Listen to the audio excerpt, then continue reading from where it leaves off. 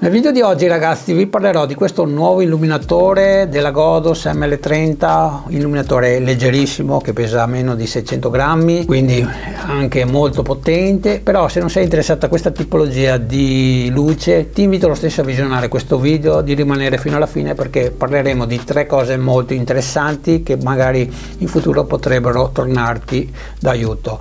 Quindi innanzitutto ben ritrovati in questo nuovo video e come ti dicevo non ti parlerò solo dell'ML30 ma ti parlerò anche di questi nuovi modificatori in silicone della Godos con attacco Godos Mount ma vanno bene anche per un normalissimo Speedlight o addirittura anche per il tuo Godos AD100 e ti farò vedere anche altri nuovi modificatori. Ti parlerò dell'applicazione Godos Lite, di come aggiungere un prodotto della Godos come questo ML30, qualsiasi prodotto che abbia il Bluetooth, creare dei gruppi e cosa molto importante, ti parlerò di come calcolare la durata della batteria, specialmente quando utilizziamo questi prodotti in esterna, quindi avere un'autonomia decisamente sicura per molte ore.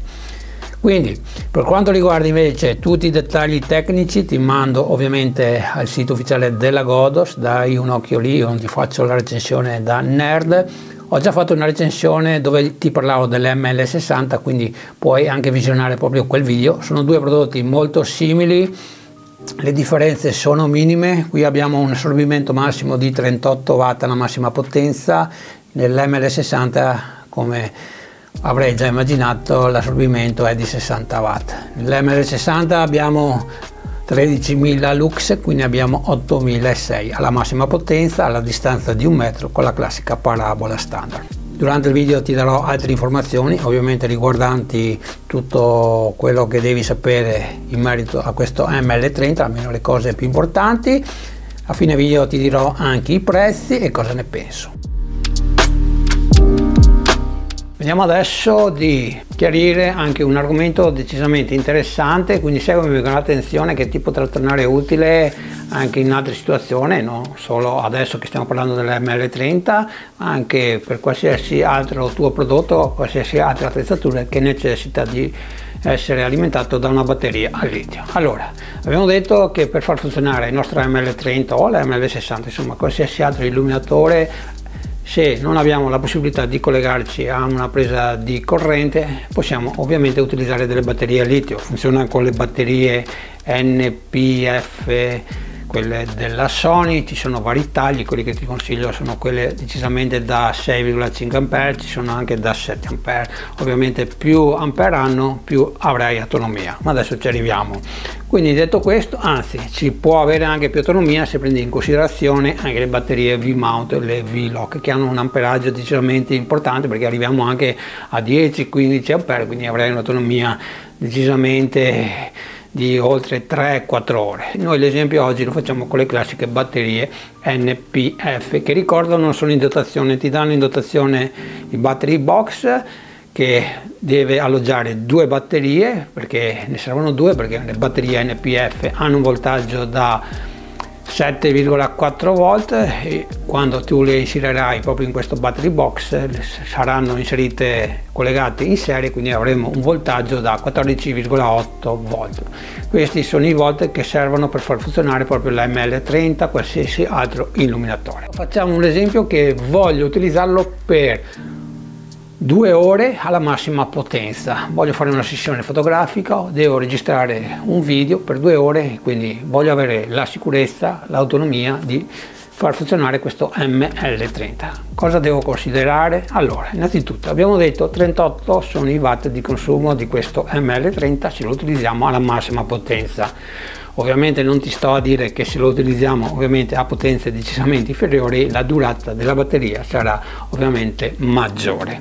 Però noi adesso facciamo proprio il classico esempio con il consumo massimo. Due ore sono l'utilizzo che ci servono, quindi calcoliamo 38 watt, lo moltiplichiamo per 2 e avremo un risultato di 76 watt.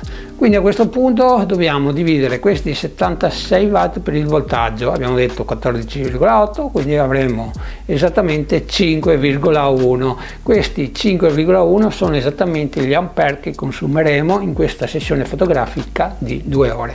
Quindi se prendi in considerazione le batterie che ti ho detto poc'anzi l'NPF da 6,5 ampere ovviamente avendo questo amperaggio avremo un'autonomia maggiore quindi le due ore saranno garantite per cui potremo utilizzare anche l'ML30 per due ore e mezza. Ok ragazzi ovviamente quello che ti ho appena detto è valido se le batterie queste NPF sono in buono stato sono batterie tra virgolette certificate perché se prendiamo quelle batterie che si possono acquistare su AliExpress e anche su Amazon non sono di qualità ovviamente quello che ti ho detto fino adesso non è valido. Volevo spendere anche qualche parola sui modificatori dal momento che con l'uscita dell'ML30 ha messo nel mercato la Godos anche due, anzi tre modificatori portatili, due in silicone che adesso ve ne parlerò. Allora un piccolo riassunto giustamente per chi non lo sapesse l'ML30 e anche l'ML60 come i due flash AD300 Pro e la D400 Pro utilizzano l'innesto Godos Mount, l'innesto proprietario della Godos che a differenza del Bowers Mount ha una circonferenza decisamente molto ridotta questo aiuterà ad avere dei modificatori decisamente più compatti e più portatili.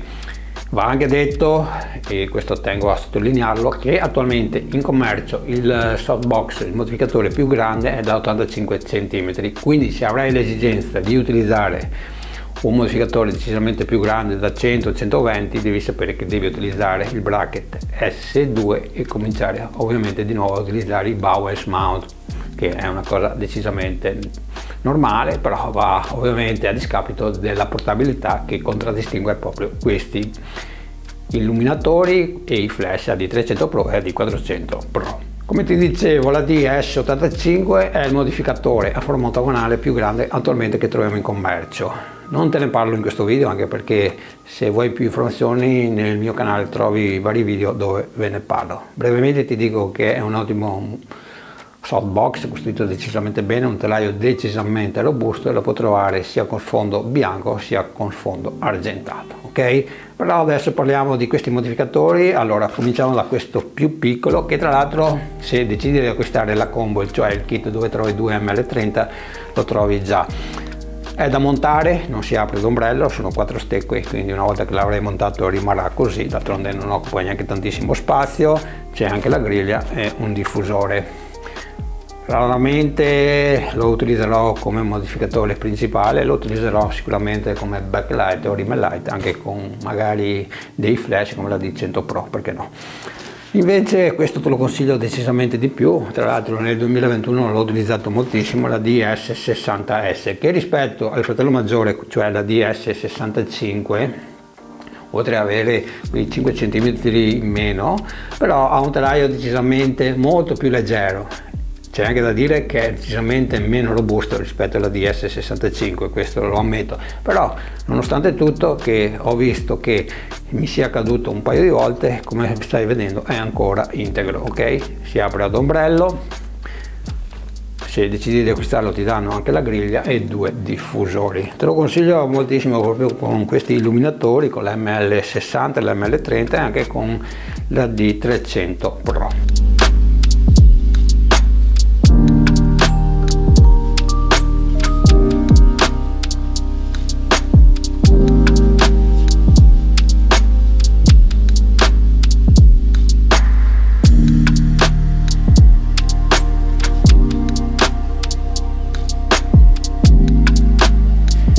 Questo punto questi due modificatori in silicone che ti ricordo li troverai in dotazione se decidi di acquistare il kit. Si potranno acquistare penso anche separatamente, anzi sicuramente anche se attualmente non li ho visti in vendita da nessuna parte, tantomeno su Amazon Italia, neppure su Amazon degli Stati Uniti e neppure su AliExpress.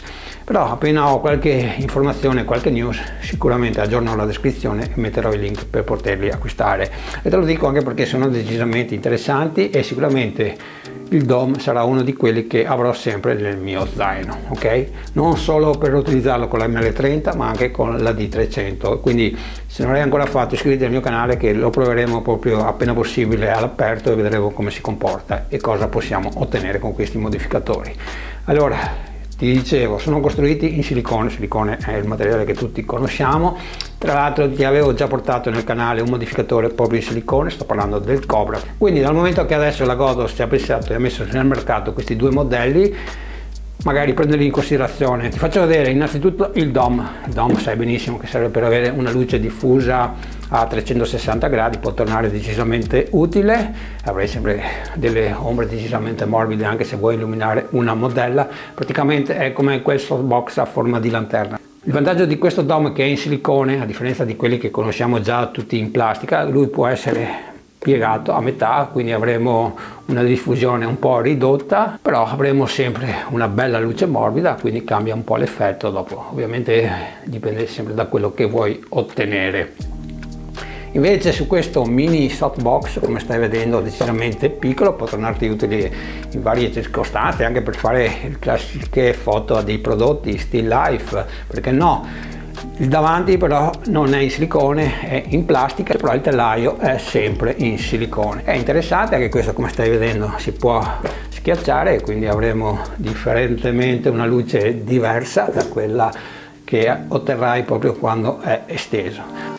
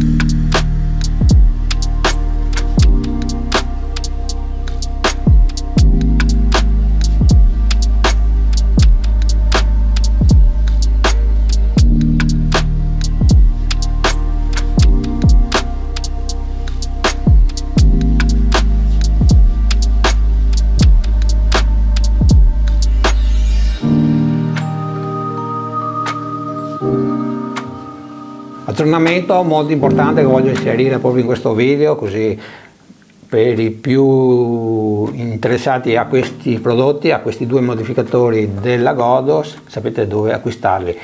Li ho trovati su AliExpress, vengono venduti in coppia, quindi li avrai entrambi dentro un comodissimo astuccio, quindi li potrai inserire nella tua borsa fotografica o zaino e li avrai sempre con te.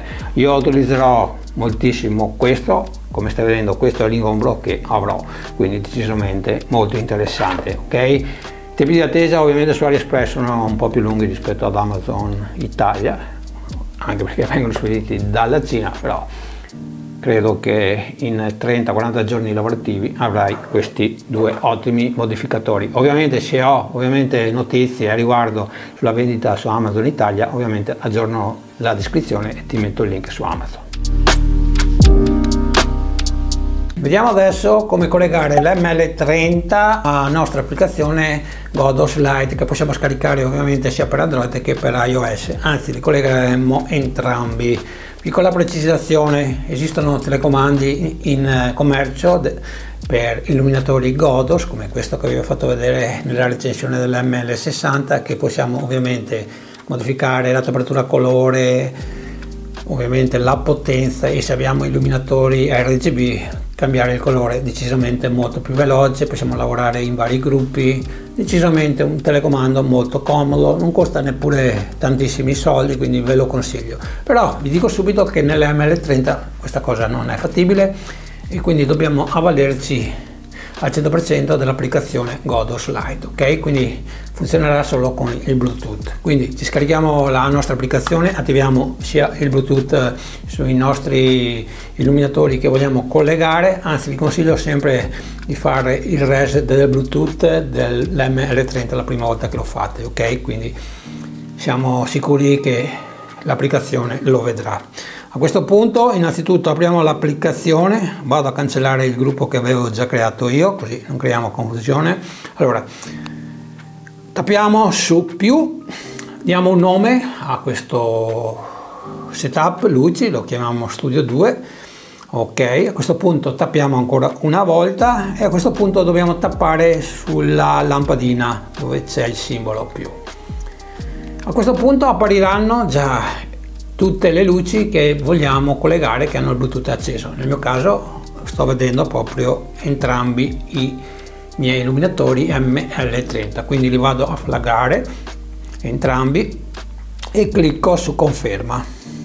A questo punto ci vorranno 10-15 secondi e dopodiché potremo ovviamente cominciare a utilizzare da remoto con il nostro telefono questi due illuminatori ML30 ecco in questo momento la connessione è avvenuta quindi entro sul mio ML30 che mi sta illuminando come key light. Come vedete posso alzare e abbassare la potenza. Noi la teniamo decisamente non troppo alta. Se avessi il modello ovviamente bicolor potrei cambiare anche la temperatura colore dopodiché posso ovviamente fare la stessa cosa sull'altro modello sull'altro ML30 che è qui alle mie spalle e cambiare alzare la potenza.